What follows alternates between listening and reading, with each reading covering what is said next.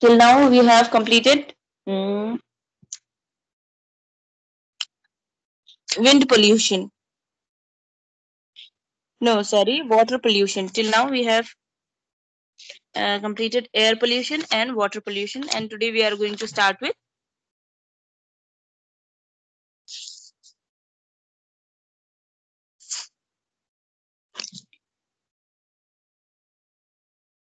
soil pollution okay. Okay. In in this water pollution last class uh, this control of water pollution was remaining. So first we will deal with this and then we will move to soil pollution. So control of water pollution how we can control water pollution? By providing first point is by providing public awareness by creating public awareness among public. What to do and what not to do. Okay, क्या करना है, क्या नहीं करना है. और जो भी हम एक्टिविटीज़ करते हैं बीइंग एज अ ह्यूमन जो भी हम एक्टिविटीज़ करते हैं, उसका क्या साइड इफ़ेक्ट हो सकता है एनवायरनमेंट पे? वो कैसे वाटर को पोल्यूट कर सकता है? और उसके क्या कॉन्सिक्वेंसेस हो सकते हैं फर्दर ठीक है, आने वाले टाइम में उसके क्या consequences we have to face ये सारी चीज़ें इन सब चीज़ों के बारे में एक थॉरो नॉलेज और इन सब के बारे में एक अवेयरनेस क्रिएट करके हम वाटर पोल्यूशन को होने से रोक सकते रोक सकते हैं। और अगर completely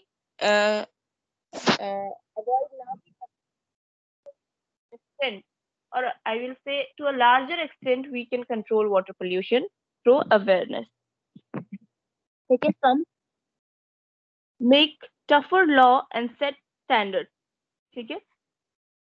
जो हमारे लॉज हैं रिगार्डिंग आर एनवायरमेंट उनको और स्ट्रिक्ट होना पड़ेगा, उनको हमें और स्ट्रिक्ट करना होगा। Like if we see any of the industries and factories who are directly pouring their waste material into the river उनके अगेंस्ट स्ट्रिक्ट एक्शन होना चाहिए, उनके अगेंस्ट स्ट्रिक्ट लॉस पास होने चाहिए कि अनटिल एंड अनलेस कोई भी ऐसा, कोई भी लॉ जो कि इन्वायरमेंट फ्रेंडली हो लाइक अगर अंटिल एंड अनलेस जब तक आपका जो वेस्ट मटेरियल है, जो वेस्ट वाटर है या जो भी वेस्ट निकल रहा है इंडस्ट्री से या फैक्ट्रीज का वेस्ट मटेरियल्स है, वो जब तक कि रिसाइकल नहीं हो जाएगा या फिर उसको, उसका ट्रीटमेंट नहीं होगा तो ट्रीट करके ही क्या कर सकते हैं? ऐसे डिस्पोज कर सकते हैं। ऐसा कुछ स्ट्रिक्ट लॉज होने चाहिए और कोई सेट स्टैंडर्ड होना चाहिए। मतलब जैसे ना कि इत, इतने से ज़्यादा अगर गंदा है तो ये हम रिवर स्ट्रीम में नहीं डाल सकते हैं। इससे क्लीन होना चाहिए। ये स्टैंडर्ड एक सेट है। मतलब कोई एक स्टैंडर्ड पर्टिकुलर सेट कर रखा है कि इससे कम है तो ही वो क्लीन माना जाएगा तो ही वो अप्रोप्रिएट माना जाएगा। इससे ज़्यादा अगर डर गंदा है तो उसे हम फिर अप्रूवल नहीं मिलेगा। इससे रिलेटेड कुछ लॉस पास होने चाहिए। Throw the waste only in the dustbin और जो हम इंडियन हाउस होल्ड में होता है, ठीक है, जितने भी वेस्ट है, वो जाके कहीं पे, कहीं रोड के किनारे फेंक दो, या फिर कहीं पे पानी में फेंक दो, नाले में फेंक दो। कहीं पे कोई बहता हुआ पानी है स्ट्रीम है रिवर है स्ट्रीम है, कोई भी है, उसमें जाके फेंक दो। वो भी कैसे फेंको कि प्लास्टिक के अंदर भर के उसको टाइटली बंद करके उसको कचरे को भी पैक करके तब फेंको, ताकि वो डिस्पोज भी ना हो। तो ये बहुत ज़रूरी है कि जो हाउस होल्ड वेस्ट होता है household waste also generate a lots of pollution है ना? हाउस होल्ड वेस्ट का भी बहुत बड़ा पोल्यूशन निकलता है, क्योंकि हाउस होल्ड वेस्ट जो है वो अप्रोक्सीमेटली हर एक घर से निकलता है। एवरी डे एवरी डे निकलता है, हर एक घर से निकलता है और मोस्टली जो हाउस होल्ड वेस्ट होते हैं ना वो बायोडिग्रेडेबल ही होते हैं। मोस्ट जो होता है, वो बायोडिग्रेडेबल होता है। अगर उसको हम प्रॉपरली डिस्पोज करें, उसका जो डिस्पोजल है, वो हमें अच्छी तरह से पता हो और उसके बारे में अवेयरनेस हो और उसको यूज़ भी करें नॉट जस्ट अवेयरनेस उसका इम्प्लीमेंटेशन भी हो तो ये जो कोई सा भी पोल्यूशन है not just water pollution soil pollution है, ये भी एयर पोल्यूशन है, जो भी है, हम बहुत हद तक रोक सकते हैं। लाइक like, सेग्रीगेट करना वेस्ट को। घर में जो भी वेस्ट जनरेट होता है उसको सेग्रीगेट करो। जैसे जो जो भी वेस्ट है जिसको जो हमें लगता है कि ये डिकम्पोज हो सकता है जैसे चाय पत्ती है या फिर आप वेजिटेबल पील ऑफ़ करते हो फ्रूट्स पील ऑफ़ करते हो है ना? इन सब का जो वेस्ट निकलता है उसे आप एक डस्टबिन में डालो जो कि फर्टिलाइजर्स बन सकते हैं बाद में। एग एग शेल है ये सारी चीज़ें क्या कर सकते हैं आप? एक डस्टबिन में करें सेग्रीगेट करें। और जैसे प्लास्टिक है, ऐसे वेस्ट प्रोडक्ट्स हैं, प्लास्टिक है एक्स्ट्रा प्लास्टिक्स है पैकेजिंग के प्लास्टिक्स है, कोई भी ऐसा प्रोडक्ट है जो कि आपको लगता है कि हाँ ये डिस्पोज बायोडिग्रेडेबल नहीं है मतलब ये फर्टिलाइज़र नहीं बन सकता है मतलब ये डिकम्पोज नहीं हो सकता है तो उसको क्या करें आप? अलग से सेग्रीगेट करें और उसको वैसे ही डिकम्पोज भी करें। तो ये सारी जो अवेयरनेस होना भी ज़रूरी है लोगों में और इसके अगेंस्ट लॉ भी होने चाहिए। क्योंकि जस्ट बिकॉज़ ऑफ़ अवेयरनेस बहुत सारी चीज़ें इम्प्लीमेंट नहीं होती हैं।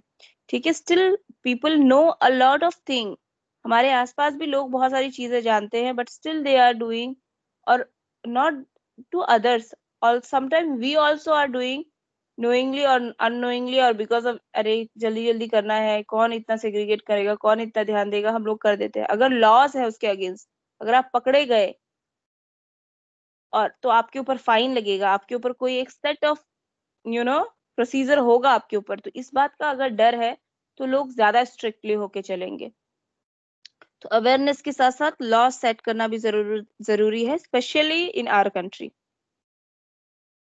use next point is use water wisely जो वाटर का इस्तेमाल है, उसे भी हम सोच समझ के करें, क्योंकि a lot of time water का वेस्ट होता है सिर्फ़ है ना? जो रिक्वायरमेंट है उससे ज़्यादा हम वाटर कंज्यूम करते हैं। Like very good example is आप जो हम शावर लेते हैं इट्स नॉट शावर से में ही मतलब आ, बात लेना ज़रूरी नहीं है। आप एक बकेट वाटर से भी नहा सकते हो बट क्या करते हैं? शावर में ही शावर यूज़ करना है फॉर टेकिंग बाथ तो उसमें क्या होता है? अननेसेसरी वेस्टेज ऑफ़ वाटर होता है। आपने कई बार देखा होगा जो व्हीकल्स को क्लीन करते हैं, है ना? वो पाइप लगा के करते हैं। वाटरिंग कर रहे हैं, कहीं पे पानी छिड़क रहे हैं तो भी पाइप लगा के कर रहे हैं। तो उस, ऐसे चीज़ों में क्या होता है, अगर कहीं अपना लॉन क्लीन कर रहे हैं तो पाइप लगा दिया और क्लीन कर रहे हैं। इसमें क्या होता है कि बहुत ज़्यादा वाटर का वेस्टेज होता है तो उसको प्रोटेक्ट करना भी बहुत ज़रूरी है है ना? जो चीज़ें आपके कम और स्मार्ट डिसीज़न के साथ, जो चीज़ें आप कंसाइज वे में इजीली और बहुत more effectively more efficiently and effectively कर सकते हो तो उस चीज़ में अपना एनर्जी डालना चाहिए और वो चीज़ को अडेप्ट करने की ज़रूरत है। So use water wisely next comes the buy more environmentally environmentally safe cleaning liquids ठीक है, जैसे जो हम लिक्विड डिटर्जेंट्स यूज़ करते किसी भी चीज़ के लिए हो, कोई भी हो, ठीक है? आइदर फॉर डिश वॉशिंग बर्तन धोने के लिए कर रहे हैं या फिर हमारे क्लोथ्स के लिए कर रहे हैं या किसी भी चीज़ के लिए जो हम डिटर्जेंट का यूज़ करते हैं, ना उसको भी मोस्टली हो सके तो कोशिश करना चाहिए कि जो एनवायरमेंटल फ्रेंडली क्लेंजिंग लिक्विड्स है ना, उसका इस्तेमाल करें, उसका यूज़ करें। उससे क्या होगा, जो वाटर में वो जो, जैसे हम जब डिश वॉश करते हैं और जो पानी निकल के जा रहा है, वो भी तो कहीं ना कहीं डिकम्पोज हो रहा है राइट कहीं ना कहीं पहुँच तो वो हार्म कम करेगा। लाइक जो भी हमारा जो घरों का जो ड्रेनेज निकलता है, जो कि बाथरूम से या किचन से निकलता है, और जाकर के सपोज़ करो, वो भी तो रिवर स्ट्रीम कहीं ना कहीं जाकर के वो भी जा रहा है तो अगर उसमें हार्मफुल केमिकल्स कम है तो जो सी वाटर है सॉरी जो वाटर एनिमल्स है, जो पानी में रह रहे हैं, उनके लिए भी वो कम हार्मफुल होगा।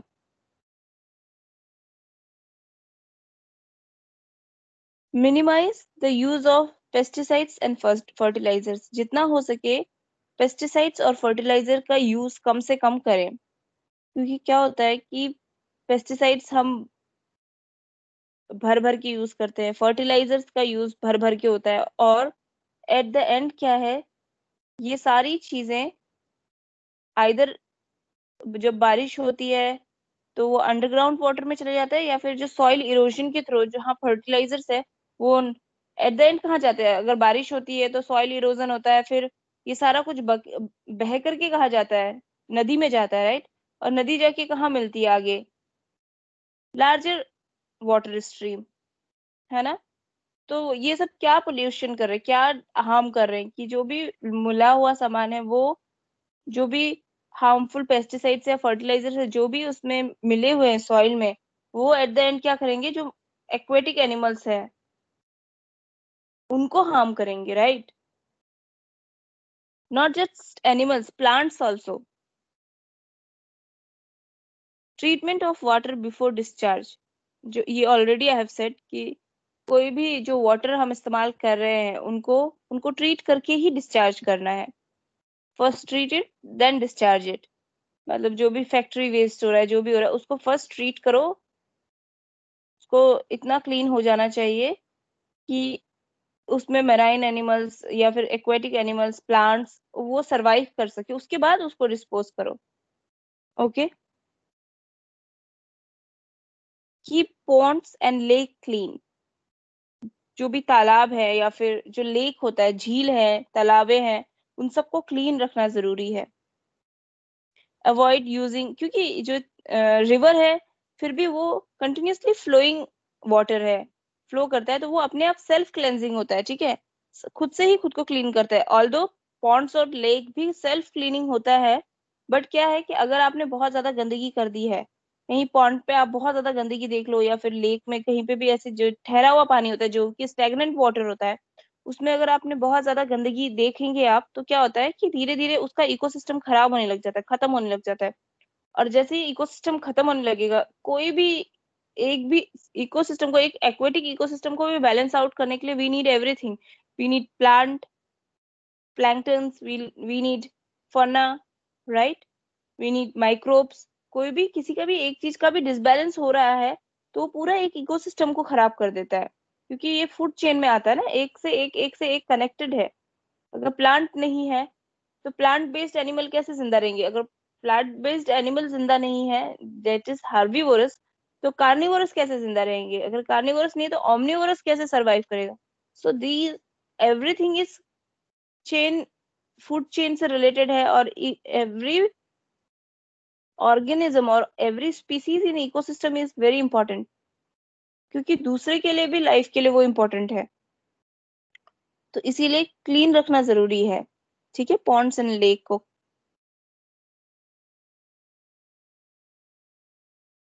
again the same thing is repeated. Avoid using pesticides and fertilizers fertilizers that can run off into water system. ऐसे फर्टिलाइजर्स और पेस्टिसाइड्स का इस्तेमाल करना बंद कर दे जो कि वाटर सिस्टम में जा सकता है है ना? सॉइल इरोजन या सॉइल से ड्रेन आउट होके वाटर सिस्टम में पहुँच जा रहा है या फिर अगर वाटर सिस्टम में नहीं पहुँच रहा तो क्या हो रहा है? मतलब चलो बहता हुआ रनिंग वाटर स्ट्रीम में नहीं पहुँच रहा है तो क्या हो रहा है? बारिश हुई जो भी फर्टिलाइज़र वो deep and deep and deep insert होते होते आपका अंडरग्राउंड वाटर तक भी पहुँच जाता है। है ना? तो भी वो अंडरग्राउंड वाटर को भी खराब कर रहा है। Use non-toxic cleaning materials. Again, the same thing has been repeated कि नॉन टॉक्सिक कोई भी क्लीनिंग मटेरियल हो, उसके लिए आप क्या यूज़ करें? नॉन टॉक्सिक मटेरियल यूज़ करें। प्लांट प्लांटिंग मोर ट्रीज ज़्यादा से ज़्यादा ट्रीज को प्लांट करें that is afforestation use resources more wisely जो भी रिसोर्सेस अवेलेबल है वाटर अभी फ़िलहाल हम वाटर रिसोर्स देख रहे हैं वाटर पोल्यूशन के बारे में बात करें तो वाटर के बारे में बोलेंगे। जितना भी वाटर अवेलेबल है आपके पास इट्स नॉट कि ज़्यादा वाटर है यहाँ पे वाटर की किल्लत नहीं है, कमी नहीं है तो आप वाटर फालतू में वेस्ट करे जा रहे हैं, ऐसा नहीं होना चाहिए। जितना रिक्वायरमेंट है, उतना ही यूज़ करें और हो सके तो उसे रिसाइकिल कर, करके यूज़ करें। अगर पॉसिबल है और अगर वो हार्मफुल नहीं है अनटिल आप कंज्यूम नहीं कर रहे तो और पॉसिबल है कि उसे आप रिसाइकिल कर सके तो उसको रिसाइकिल करके भी यूज़ करें। जैसे जैसे कि बहुत अच्छा एग्ज़ाम्पल है कि जापान में लोग क्या करते हैं कि जो हमारा टॉयलेट सीट होता है, उसके ऊपर जो फ्लश के लिए जो एक टैंकर लगा होता है है ना, उसके ऊपर ही बेसिन बना देते हैं। तो क्या होता है कि हैंड वॉश कर रहे हैं तो वो हैंड वॉश का वाटर कहाँ गया? वो टैंकर में चला गया और उसके बाद आपने जब फ्लश किया तो आप एकदम जो एक फ्रेश वाटर से फ्लश करने की बजाय आप जो ऑलरेडी आपने हैंड वॉश कर लिया है वो वाटर गंदा हो चुका है डर्टी हो चुका है बट वो फिर भी फ्लशिंग के लिए यूज़ हो सकता है राइट तो उसका इस्तेमाल कर रहे हैं आप तो फिर भी आप बहुत इस इस प्रोसेस के through also through following this process are waste you are um, preserving a lot of water saving a lot of water तो ये सारे कुछ points थे to control water pollution now we will move to soil pollution the next topic is soil pollution in a general sense soil pollution is the presence of toxic chemicals in soil in higher concentration okay pollution pollutants or contaminate contaminants it presents risk to human health and ecosystem it is mainly caused by industrial activity agricultural chemicals or improper disposal of waste soil pollution किसे बोल सकते हैं अगर आप general sense में देखिए तो soil pollution का मतलब ये है कि सॉइल में टॉक्सिक केमिकल्स का प्रेजेंट होना टॉक्सिक केमिकल्स क्या होते हैं जो कि लिविंग ऑर्गेनिज्म को हार्म कर सकते हैं। Okay living organism in any form not just human being सिर्फ़ ह्यूमन बीइंग की बात नहीं हो रही है। कोई भी लिविंग ऑर्गेनिज्म है, उसको हार्म पहुँचा सकते हैं, वो that thing is called as toxic chemicals okay तो इन टॉक्सिक केमिकल्स का presence the presence of these toxic chemicals in the soil that too in a higher concentration वो भी बहुत ज़्यादा कॉन्सेंट्रेशन में प्रेजेंट है।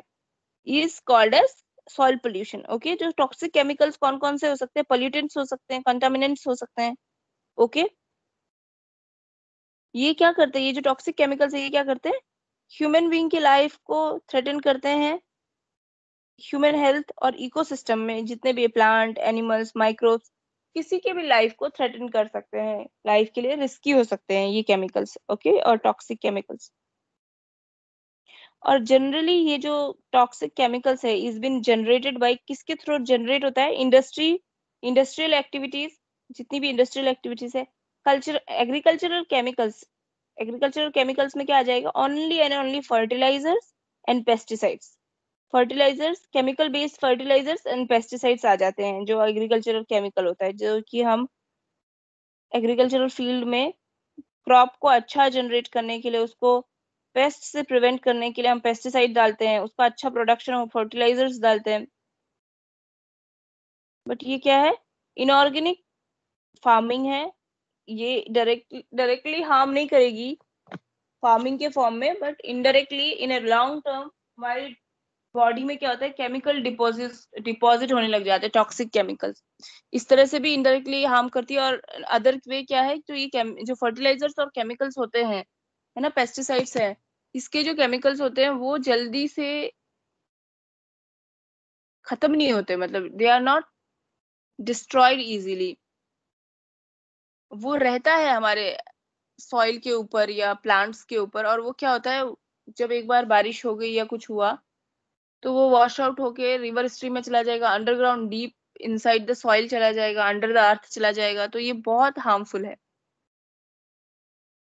और improper disposal of waste and next thing जो सॉइल पोल्यूशन कॉज करता है सेम है कि अगर हम वेस्ट मटेरियल को अच्छे से डिस्पोज नहीं कर रहे हैं। अगर आपने एक पॉलिथिन में या फिर एक, घर में भी एक आपने डस्टबिन बनाया हुआ है, हर एक घर में एटलीस्ट दो डस्टबिन होने चाहिए। एक डस्टबिन किचन में होना चाहिए। किचन में ही दो डस्टबिन होने चाहिए। जैसे कि एक डस्टबिन है जिसमें कि आप सारे बायोडिग्रेडेबल वेस्ट डाल रहे हैं और एक है जो कि पॉलिथिन या प्लास्टिक या जो ऐसी चीज़ें हैं जो डिस्पोज नहीं होती हैं, उसका वेस्ट डाल रहे हैं।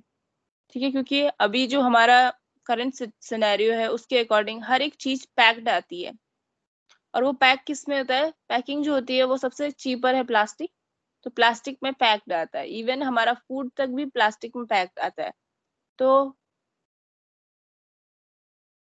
वेस्ट मटेरियल्स जो वेस्ट प्रोडक्ट है जनरेट बहुत ज़्यादा होता है, और that too of plastic but क्या करते हैं ना, अलग सेग्रीगेट करके रख दिया। पर जिस समय फेंकने गए, जिस समय उसको डिस्पोज करने गए, उस समय क्या करते थे, जो बायोडिग्रेडेबल था, उसको भी प्लास्टिक में बंद कर दिया, और जो नॉन बायोडिग्रेडेबल था, उसको भी प्लास्टिक में बंद कर दिया। तो क्या फ़ायदा है उसका?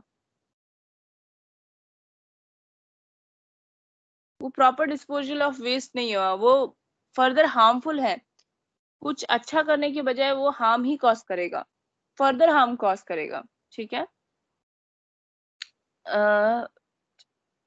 कॉजेज ऑफ़ सॉइल पोल्यूशन क्या क्या कॉजेज हैं सॉइल पोल्यूशन के?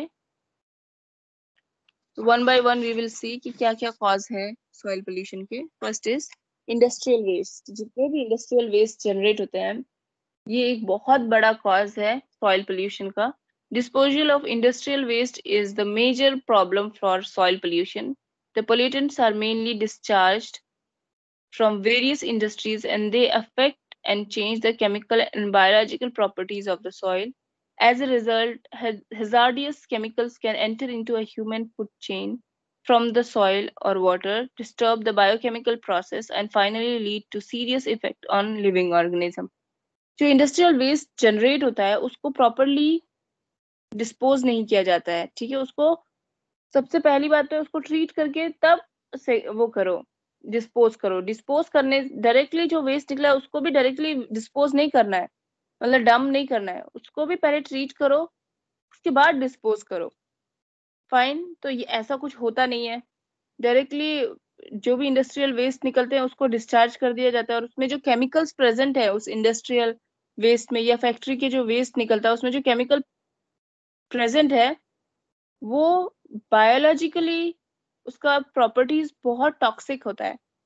ठीक है those chemicals are very toxic for living organism hazardous, those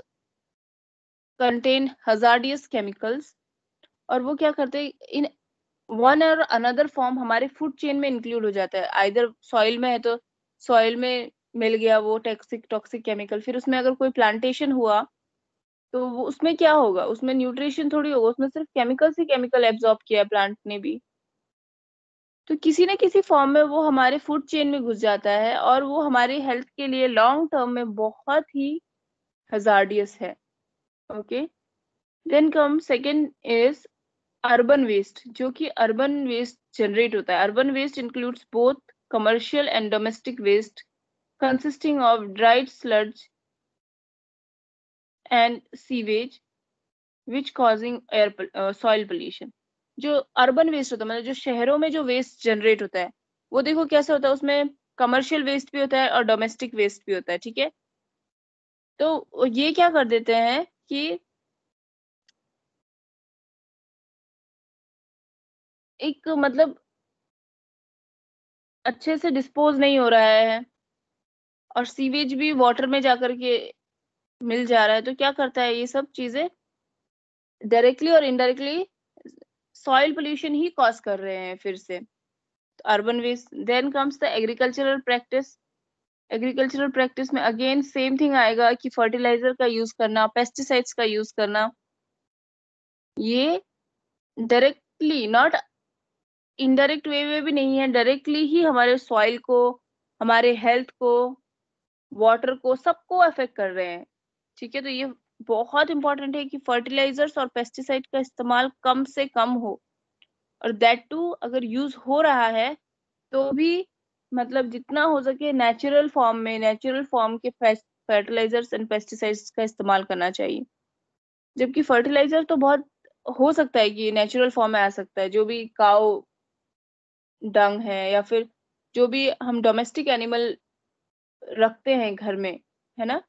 cow buffalo aux जो भी है गोट हैन पिग जो भी रखते हैं, इन सब का जो वेस्ट होता है, उसको हम एज ए फर्टिलाइज़र यूज़ कर सकते हैं और वो बहुत अच्छे फर्टिलाइज़र के फॉर्म में यूज़ होते हैं। पेस्टिसाइड्स का कितना कम हो सके, उतना कम यूज़ करना चाहिए। फर्टिलाइजर्स लाइक डीडीटी यूरिया ये सब यूज़ नहीं होना चाहिए। डीडीटी तो पेस्टिसाइड्स में आ गया। बट यूरिया जैसे चीज़ है, ये सब का यूज़ नहीं होना चाहिए, क्योंकि इन सब में बहुत ज़्यादा केमिकल कॉम्पोजिशन का रेट बहुत ज़्यादा होता है। ठीक है? Fourth come radio active pollutants जो भी रेडियो एक्टिव पोल्यूटेंट्स जनरेट होते हैं, जैसे कि न्यूक्लियर टेस्टिंग हो रहा है हमारे यहाँ, हर जगह throughout the world wide nuclear testing चलता ही रहता है, ठीक है? हर एक कंट्री एक न्यूक्लियर पावर बनना चाहता है तो उसके लिए वो testing and testing and trial सब चलता रहता है। तो उसका जो वेस्ट जनरेट होता है, वो भी तो सॉइल में ही डम होता है। और जो रेडियो एक्टिव पोलिटेंट्स होते हैं, उसमें कितना हार्मफुल केमिकल्स होता है, कितना। I mean they have the tendency कि वो आपका जेनेटिक म्यूटेशन कर सकते हैं। तो सोचो वो कितने हार्मफुल हैं। तो ये सारी चीज़ों को भी ढंग से हैंडल करना ज़रूरी है। इनका जो जो भी ये रेडियो एक्टिव सब्सटेंसेस है, उनको अच्छे से प्रॉपर डिस्पोजल की ज़रूरत है डम करने की ज़रूरत है अच्छी तरह से। जितना हो सके उसको रिसाइकल करने की ज़रूरत है। कम से कम वेस्ट जनरेट हो, ऐसे एक्टिविटीज़ को हमने इंक्लूड करना है। तो इसमें क्या लिखा है? बुक में क्या लिखा है? That I am going to study radio active pollutants में। Radio active substances resulting from explosion of nuclear testing laboratories and industries are dumped in the soil okay this gives rise to nuclear dust radio active waste which eventually penetrates into the and accumulate causing land soil pollution तो ये eventually क्या करते हैं? कि ये soil में ही penetrate हो रहा है। जो भी हम रेडियो एक्टिव एक्सपोजर हो रहा है है ना? वो टेस्ट हो रहे हैं। जितने भी चीज़ें हो रही हैं, उसमें जो भी वेस्ट जनरेट होता है, वो सॉइल में ही डम होता है एट द एंड जैसे कि क्या क्या जनरेट हो रहा है? न्यूक्लियर डस्ट जनरेट होता है रेडियो एक्टिव वेस्ट जनरेट हो रहा है है ना? तो ये सारी क्या होता है? हमारे एनवायरमेंट में, हमारे सॉइल में और वो क्या कॉज करते हैं अगेन लैंड पोल्यूशन और soil pollution Fifth point is biological agent. Every human produces a certain amount of personal waste produced by way of urine and feces. Soil gets a large amount of human, animal, and bird excreta, which constitutes a major source of land pollution by biological agent. देखो biological agent भी बहुत ज़्यादा waste करते but waste produce करते but ये क्या है कि ये लॉन्ग टर्म में हार्मफुल नहीं है अर्थ के लिए। बट सॉइल पोल्यूशन तो हो रहा है ना ह्यूमन एक्सक्रीटा वो बाहर में एक्सक्रीटा पास कर रहे हैं एनिमल्स बर्ड्स ये सब का excreta everything is also causing any some sort of soil pollution but long term में ये हार्मफुल नहीं है। अगर लॉन्ग रन में देखा जाए बट शॉर्ट रन में आप देखिए तो बहुत टाइप ऑफ़ कम्युनिकेबल डिजीजेस इन सबसे फैल सकते हैं। है ना? अगर आप, अगर अच्छी तरह से जो भी एक्सक्रीटा निकल रहा है, उसका डिस्पोजल अच्छे से नहीं है प्रॉपर डिस्पोजल नहीं है यूरिन का या फीसिस का, और ओपनली किया जा रहा है तो वो पूरा सॉइल को कंटामिनेट करेगा एयर कंटामिनेट करेगा, आसपास में जो लोग हैं, उनको अफेक्ट कर सकता है।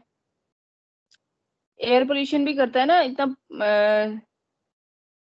जहाँ पे ये सारे एरियाज़ ऐसे हैं, जहाँ पे भी कि लोग ओपनली डेफिकेट कर रहे हैं, वहाँ पे स्मेल भी तो कितना होता है तो this is somehow pollution only but और कम्युनिकेबल डिज़ीज़ होने के बहुत ज़्यादा चांस होते हैं। not just communicable any sort of disease condition can generate mining activities next point is mining activities mining activities से क्या होता है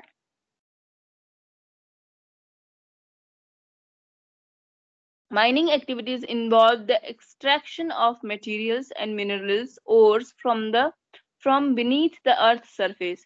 The activities expose the soil to chemical contaminants and heavy metals that destroy the soil quality. तो mining activities में क्या होता है basically minerals और मटेरियल्स का एक्सट्रैक्शन होता है, ठीक है? माइनिंग में हम क्या करते हैं? मिनरल निकाल रहे होते हैं, या कोई ना कोई एक मटेरियल होता है जिसको हम निकाल रहे होते हैं तो उसमें क्या होता है? वो हम कहाँ से निकालते हैं? अर्थ के सरफेस से अर्थ को खुदा खुदाई होकर के डिग करके, तब निकलता है। तो ये क्या करता है? इस तरह का कुछ भी एक्टिविटी क्या करता है कि जो सॉइल है ना उसका क्या होता है उसमें केमिकल कंटामिनेशन करने के बहुत ज़्यादा चांसेस होते हैं।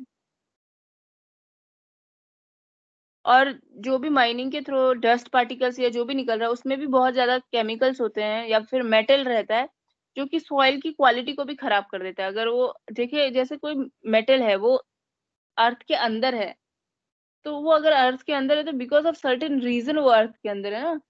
अगर आप उसको माइनिंग करके उसको बाहर निकाल रहे हो तो उसका डस्ट पार्टिकल भी तो है, वो सर सरफेस अर्थ के सरफेस के ऊपर आ जाएगा। तो वो सिर्फ़ सर्फ और सॉइल का जो क्वालिटी है और जो उसका फर्टिलिटी है, उसको खराब कर देता है। ठीक है? Overcrowded land fillings each household produce tons of garbage every year garbage like aluminum plastic paper cloth wood is collected and sent to the local recycling unit items that cannot be recycled become a part of the landfills and cause land pollution देखो जो भी हर एक घर से भी मैंने बोला ना डेली गार्बेज निकलता है तो आप एवरी ईयर सोचो कितना गार्बेज निकलता है राइट उसमें क्या क्या जैसे चलो वो गार्बेज में जैसे अगर कोई आपको मेटल मिल गया जैसे एल्युमिनियम मिल गया से, या कोई और मेटल मिल गया, वो भी सेग्रीगेट कर दिया जाता है प्लास्टिक हटा दिया जाता है पेपर जो यूज़ में हो सकता है, उसको हटा दिया जा सकता है ना? क्लोथ लकड़ियाँ वुड ये सब अलग कर दिया जाता है उस वेस्ट से। और उनको अलग करके क्या करते हैं? उनको रिसाइकल के लिए सेंड कर दिया जाता है। बट जो सामान रह जाता है, जो भी वेस्ट रह जाता है, वो क्या करता है? लैंडफिल में फेंक दिया जाता है। और ये क्या करता है कि लैंड पोल्यूशन का बहुत बड़ा कॉज होता है। Not just land pollution air pollution उस जगह पे जहाँ पे लैंड लैंडफिल होता है, उस जगह से, उस जगह पे खड़े रहना इज़ लाइक इम्पॉसिबल वहाँ से अगर आपकी व्हीकल भी क्रॉस हो रही है तो आप सांस लेना का मुश्किल हो जाता है। You can not breathe properly इतना स्मेली होता है। नेक्स्ट इज़ एसिड रेन जो एसिड रेन होता है, वो भी किसकी वजह से होता है? Because of this pollution only pollution इतना ज़्यादा है, उसकी वजह से ही ये भी होता है एसिड रेन होता है।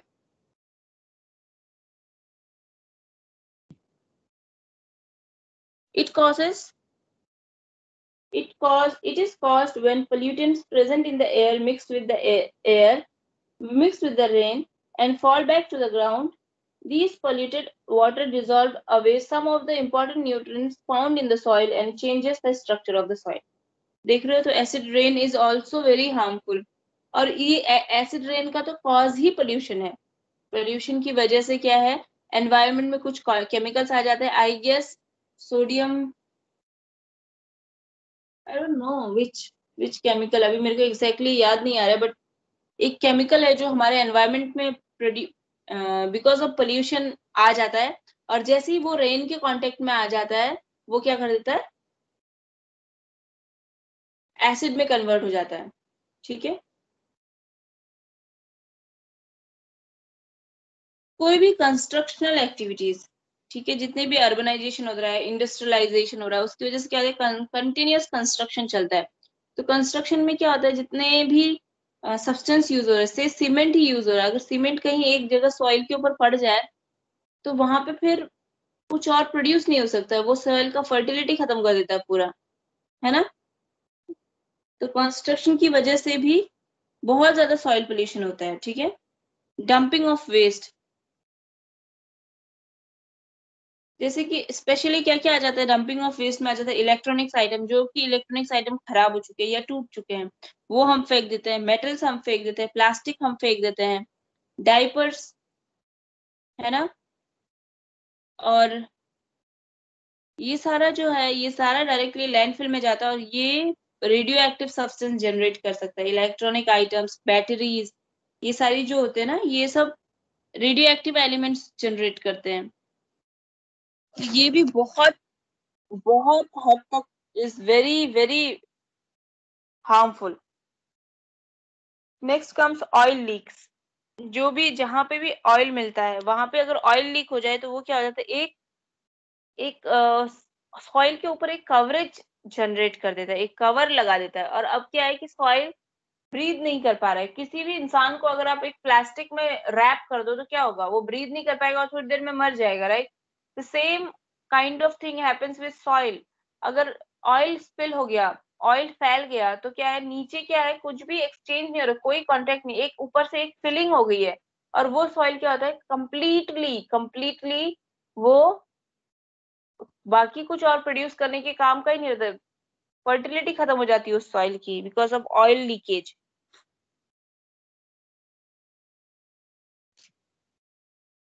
और नॉट जस्ट ऑयल लीकेज सिर्फ़ सॉइल खराब नहीं करता है। अगर अंडर अंडर चला गया, अंदर चला गया और वाटर तक पहुँच गया तो वो वाटर को भी स्पॉइल कर देगा। ड्रिंकिंग वाटर को भी खराब कर देगा, ठीक है? नेचुरल कॉजेस क्या क्या है सॉइल पोल्यूशन के? Last point is natural causes of soil pollution accumulation of salt compounds happen because of the natural imbalance between atmospheric deposition and leaching caused by rainwater. Example in the accumulation of, in the soil हाँ। तो जो भी natural process में क्या आ जाता है? Atmospheric decomposition और leaching का जो प्रोसेस होता है, जो कि क्या कॉज करता है?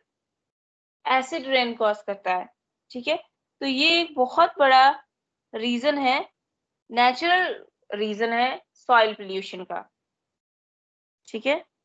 Now what are the effect of soil pollution soil pollution के क्या इफ़ेक्ट हो सकते हैं? क्या असर है सॉइल पोल्यूशन का?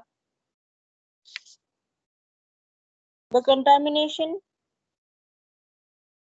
okay the first क्या है? Endangering human health soil pollution क्या कर रहा है? हमारे ह्यूमन हेल्थ को एंडेंजर कर रहा है डेंजर में डाल रहा है राइट right? हमारे हेल्थ को डायरेक्टली और इनडायरेक्टली अफेक्ट कर ही रहा है soil pollution next effect on plant life plant के लाइफ को भी अफेक्ट कर रहा है। इफ़ेक्ट ऑन इकोसिस्टम ह्यूमन को अफेक्ट कर रहा है प्लांट को अफेक्ट कर रहा है तो डेफिनेटली हमारे इकोसिस्टम को भी अफेक्ट कर रहा है। इकोनॉमिक लॉसेस इकोनॉमिक लॉस होने का बहुत अभी सिर्फ़ एक टाइम का फ़ायदा देख के लोग कुछ भी कर रहे हैं ना? All these activities are basically created by human being only और कौन कर रहा है ये सब चीज़ें? ह्यूमन बींग ही कर रहा है। तो अभी का टेम्पररी फ़ायदा देख करके जो भी हम एक्सपोजर कर रहे जो भी हम पोल्यूशन कॉज कर रहे जो भी हम हार्म कर रहे हैं अपने एनवायरमेंट को, वो लॉन्ग टर्म में इकोनॉमिक लॉस ही कर रहा है। आपके लिए जितना जितना हम वेस्ट जनरेट करते जाएँगे और जितने जितने हम एरिया को गंदा करते जाएँगे, है ना तो उसकी फर्टिलिटी खत्म हो जाएगी और वो सालों तक वो सॉइल या वो जगह जो है, वो एरिया जो है, वो लैंड जो है, वो फर्टाइल नहीं रहेगा। Economic losses air and water contamination soil के साथ साथ सॉइल पोल्यूशन से क्या होता है? एयर पोल्यूशन भी होता ही है और वाटर पोल्यूशन भी होता है, क्योंकि सॉइल के अंदर वाटर है या सॉइल के साथ ही वाटर है in the form of river अंदर अंडरग्राउंड अंडरग्राउंड वाटर के फॉर्म में वाटर है तो ये अफेक्ट होता है और एयर है एटमोसफेयर में। तो जो भी सॉइल में जो भी गंदगी हो रही है, उससे क्या होगा? कि जो स्मेल है, जो भी एनवायरमेंट में जो एयर पोल्यूट हो रहा है, वो भी तो पोल्यूशन ही कॉज कर रहा है। चेंजेस इन क्लाइमेटिक पैटर्न जो ग्लोबल वार्मिंग हो रहा है सेम चीज़। Toxic dust toxic dust generate होता है। है ना? और वो क्या करते हैं? Emission of toxic gases and foul odour from the landfills pollute the environment and cause serious health effect on people. जो भी गैस निकल रहा है टॉक्सिक गैस निकल रहा है लैंडफिल से, ठीक है? एंड उससे जो स्मेल निकल रहा है फॉल स्मेल है फॉल स्मेल और foul odour you can say वो क्या कर रहा है, हमारे एनवायरमेंट को पोल्यूट कर रहा है और सीरियस हेल्थ इफ़ेक्ट कॉज कर रहा है ह्यूमन बीइंग में. एसिडिफिकेशन जो एसिड रेनफॉल होता है, वो हो रहा है. सॉइल की decrease soil fertility nine point decrease soil fertility soil की फर्टिलिटी कम होती जा रही है। Soil changes in soil structures जो सॉइल पहले बहुत फर्टाइल होता था, वो अब क्या हो गया कंप्लीटली उसमें कोई प्रोडक्शन ही नहीं हो सकता है। ठीक है? Increase in soil salinity soil में क्या हो रहा है? सलाइन ज़्यादा होते जा रहे हैं, नमक का कॉन्सेंट्रेशन ज़्यादा होता जा रहा है, और वो ज़्यादा होगा तो क्या होगा, फिर प्लांट्स ग्रो नहीं कर पाएँगे। डिस्ट्रैक्शन ऑफ़ टूरिस्ट अभी देखो कहीं ना कहीं एक टूरिस्ट एरिया उसमें एक जगह कहीं ना कहीं दूर कहीं पे लैंड फिल होता है है ना? अब वहाँ से कोई गुजरा तो इतना गंदा एरिया यहाँ पे क्या टूरिस्ट एरिया होगा? That is also causing a distraction तो उसमें भी इकोनॉमिक लॉस है।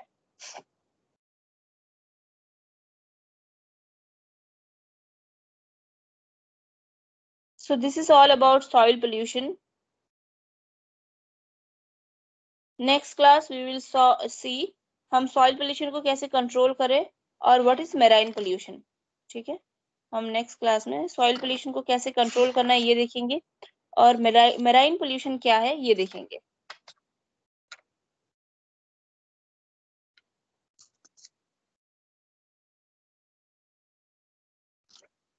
This unit is very important.